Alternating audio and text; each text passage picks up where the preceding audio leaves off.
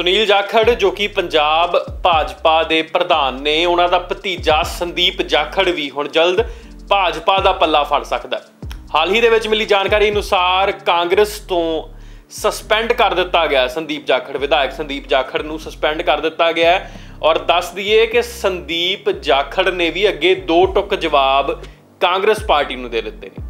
Congress party ਨੇ ਵੱਖ-ਵੱਖ ਮੁੱਦਿਆਂ ਦੇ ਉੱਤੇ ਸੰਦੀਪ ਜਾਖੜ ਨੂੰ ਸਸਪੈਂਡ ਕੀਤਾ ਸਭ ਤੋਂ ਪਹਿਲਾਂ ਤਾਂ ਉਹੀ ਪਾਰਟੀ ਵਿਰੋਧੀ ਗਤੀਵਿਧੀਆਂ, ਉਸ ਤੋਂ ਬਾਅਦ ਜਿਸ ਘਰ ਦੇ ਵਿੱਚ ਰਹਿੰਦੇ ਨੇ, ਉਸ ਘਰ ਦੇ ਉੱਤੇ ਭਾਜਪਾ ਦਾ ਝੰਡਾ ਝੂਲਦਾ ਉਸ ਤੋਂ ਬਾਅਦ ਆਪਣੇ ਚਾਚਾ ਸੁਨੀਲ ਜਾਖੜ ਦਾ ਪੱਖ ਪੂਰਦੇ ਰਹੇ ਔਰ ਨਾਲ ਦੀ ਨਾਲ ਭਾਰਤ ਜੋੜੋ ਯਾਤਰਾ ਸਣੇ ਹੋਰ ਜਿਹੜੇ ਕਾਂਗਰਸ ਦੇ ਪ੍ਰੋਗਰਾਮ ਸੀ, ਉਹਨਾਂ ਦੇ ਵਿੱਚ ਹਿੱਸਾ ਸੰਦੀਪ ਜਾਖੜ ਵੱਲੋਂ ਨਹੀਂ ਲਿਆ ਗਿਆ। ਜਿਸ ਦੇ ਚੱਲਦੇ ਸਸਪੈਂਡ ਕਰ ਦਿੱਤਾ ਗਿਆ ਸੰਦੀਪ ਜਾਖੜ ਨੂੰ ਅਤੇ ਹੁਣ ਕਿਹਾ ਜਾ ਰਿਹਾ ਹੈ ਕਿ ਜਲਦ ਤੋਂ ਜਲਦ ਸੰਦੀਪ ਜਾਖੜ ਵੀ ਭਾਜਪਾ ਦੇ ਵਿੱਚ ਸ਼ਾਮਿਲ ਹੋਣਗੇ। ਆਪਣੇ ਚਾਚਾ ਵਾਂਗ ਭਾਜਪਾ ਦਾ ਪੱਲਾ ਫੜ ਲੈਣਗੇ ਸੰਦੀਪ ਜਾਖੜ, ਸੁਨੀਲ ਜਾਖੜ। ਪਹਿਲਾਂ ਹੀ ਭਾਜਪਾ ਪੰਜਾਬ ਦੇ ਪ੍ਰਧਾਨ ਨੇ ਔਰ ਲੱਗੇ ਹੋਏ ਨੇ ਭਾਜਪਾ ਦਾ ਪਸਾਰ ਕਰਨ ਪੰਜਾਬ ਦੇ ਅੰਦਰ। ਔਰ ਦੂਜੇ ਪਾਸੇ ਹੁਣ ਸੰਦੀਪ ਜਾਖੜ ਵੀ ਭਾਜਪਾ ਦੇ ਵਿੱਚ ਸ਼ਾਮਿਲ ਹੋ ਸਕਦੇ ਨੇ। ਕਿਸੇ ਵੇਲੇ ਵੀ ਸੁਨੀਲ ਜਾਖੜ ਦੇ ਪਰਚਨਾਂ ਦੇ ਚੱਲਦੇ ਹੋਏ ਜਲਦ ਹੀ ਕਾਂਗਰਸ ਜਿਹੜੇ ਸਸਪੈਂਡ ਹੋਏ ਨੇ ਹੁਣ ਭਾਜਪਾ ਦਾ ਪੱਲਾ ਫੜ ਸਕਦੇ ਨੇ ਇਸ ਦੌਰਾਨ ਦੋ ਟੁਕ ਜਵਾਬ ਜਿਹੜਾ ਉਹਨਾਂ ਨੇ ਕਿਹਾ ਹੈ, ਉਹਨਾਂ ਨੇ ਸਾਫ਼ ਕਿਹਾ ਹੈ ਕਿ ਉਹ ਮਾਫੀ ਨਹੀਂ ਮੰਗਣਗੇ ਉਹਨਾਂ ਨੇ ਜੋ ਕੁਝ ਕੀਤਾ ਹੈ ਸ਼ਰੇਆਮ ਕੀਤਾ ਹੈ